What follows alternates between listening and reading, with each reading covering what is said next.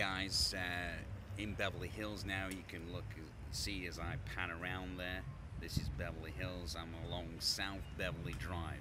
Just had uh, some really successful meetings.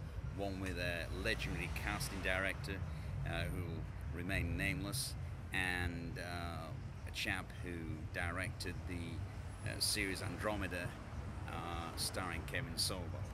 And also met my buddy Irv, who released one of my first films, which was Cold Fish, 18 years ago. And we're talking about a potential TV series in Costa Rica.